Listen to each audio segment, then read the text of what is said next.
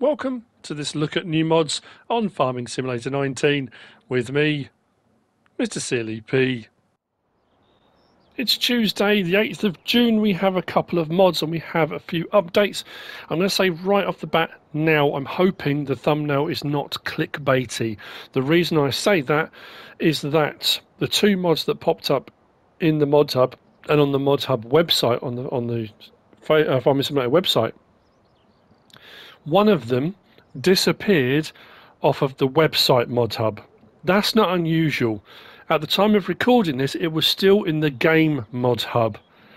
When you watch this, it may not be. I was just a bit puzzled why it disappeared out of the, the website Mod Hub, but hopefully it is. And if it has been removed, hopefully it just needs some tweaking or an update and it will come back. But I'm fingers crossed it's going to be there.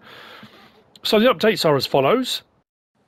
From top left, the Annaburger HTS2203 and HTS2903 by Redcat 3D, the Lemken D24 by AW Modding ABP team, the Alpine Pack by uh, Zakaparek, the Pack of Old Medium Buildings by Wilovisco TV, and the Silo for Crops by Bartson V3 and Prezemek 23433 have all had updates today.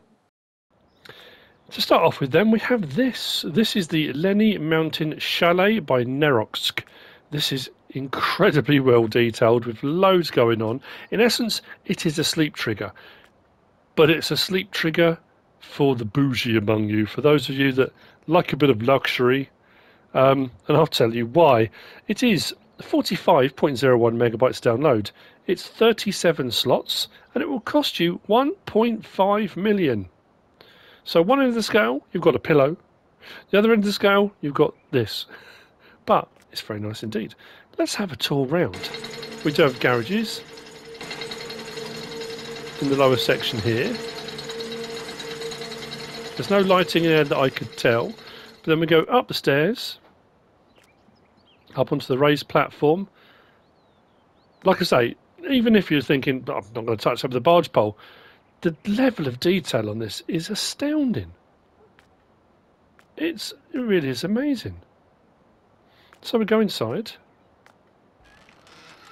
We do have a light switch to the side there. Now that I found was a little bit tricky because it was close to the door, but you can, at the right angle, there we go, light on or off, just there. Let's close the door because we're going to leave a different way. But even down to this, the quality of, there's no blurring or anything on the pictures so we go around this floor here. We've Got a dining area, nice solid table. Even this sort of thing with the glass inserts.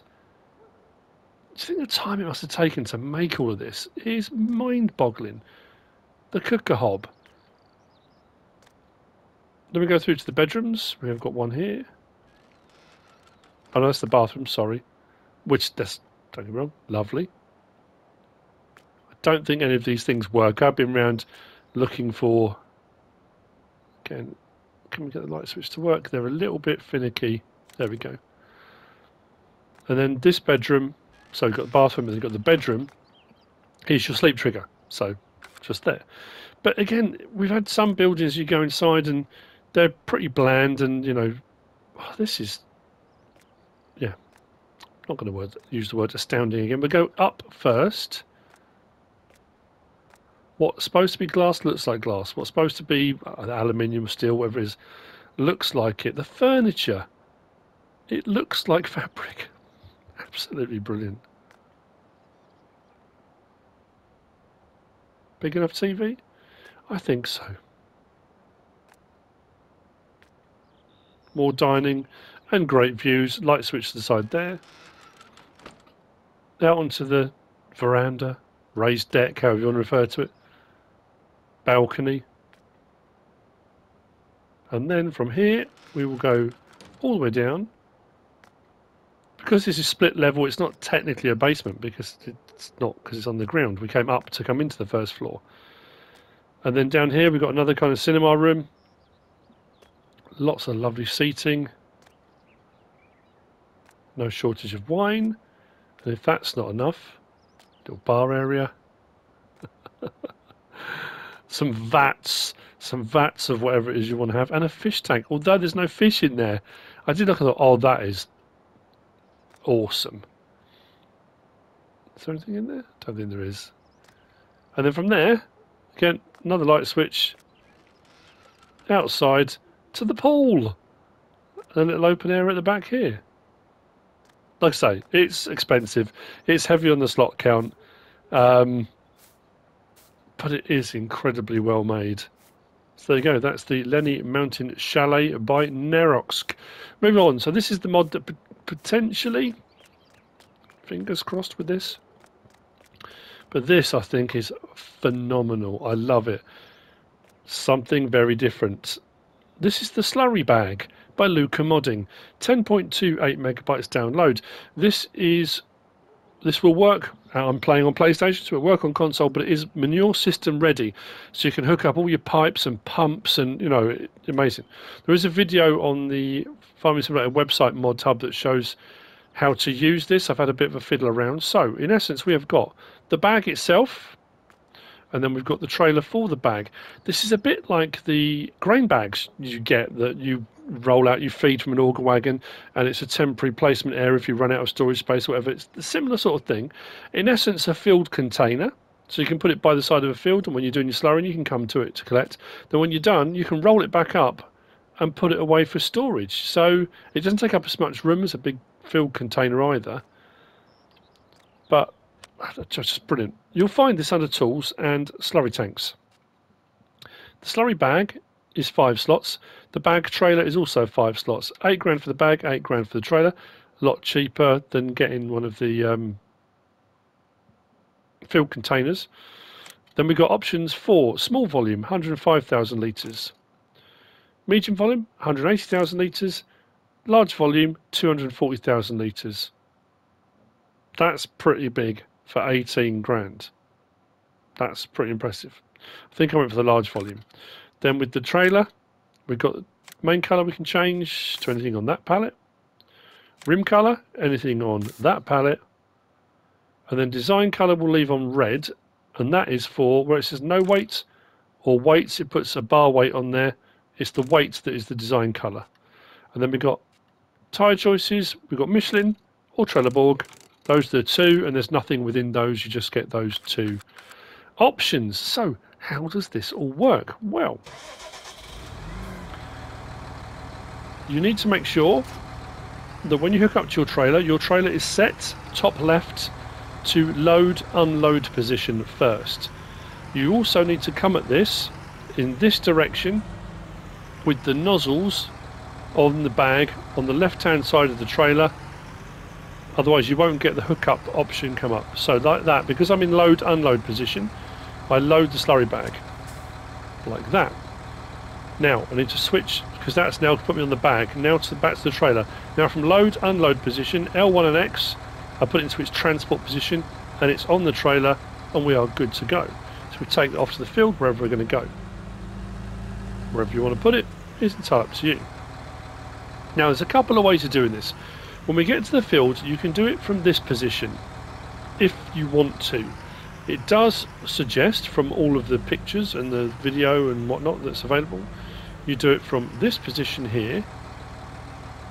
So you drive up, you look at your position, hopefully your area is flat. Now, it does also suggest, and this is entirely up to you, that the area you're going to place this down in, you might want to landscape with a flat grass texture or if you put it down on something concrete or a mud earth texture or something like that you can you don't have to. The only reason being if you put it on long grass the long grass can poke through the bag and it can look like there's kind of grass growing through it. It's just for an aesthetic thing. It doesn't affect the usage of the bag whatsoever um, but you might want to do that. Now L1 and right stick side to side then rotates trailer and we are ready to unload. So from transport position we go to unload position and it's down on the ground. Now we switch to the bag by pressing triangle and unfold slurry bag. That's our slurry bag unfolded. Good to go. We detach from it. Now I want to rotate that back round again so we're good for transport so I don't hit hedges and things on my way home, whatever I'm doing. Yeah, it's a bit more fiddly than a filled container, but it, like I say, it's, it's low profile. If you go for the small one, doesn't take a huge amount of room. Obviously, like this, it takes up way much more way much more room, way more room, way more room than a fill container, but it holds way more as well. So that's its laid. And as you can see, some of the grass where it slopes down is poking through a little bit. So I mean, that, like I say, it's aesthetic, it's a type tube. Now, once unfolded, to put slurry into it, you need a slurry tanker or a tanker that holds slurry or something equivalent. And what should happen is we come alongside, trigger should come up like so, and we start overloading. So we're putting out 30 odd thousand litres into the slurry bag. Like I say, this is the large one, so it will hold 240,000 litres.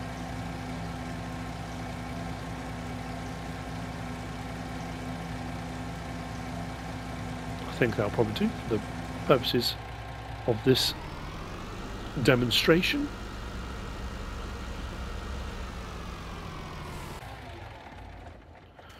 And then, whenever you're doing your slurrying, with your slurry tank, tanker, spreader, sprayer, whatever you're using, this will take digestate as well. So slurry or digestate. Not both at the same time. You can't normally mix. Start filling. So we're now filling from the bag into our slurry spreader.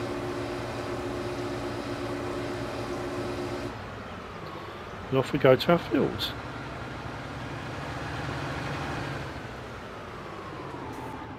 Which is just brilliant. Now, actually, what I'm hoping to check now is the other way. Will it allow me to take out of it with this tanker?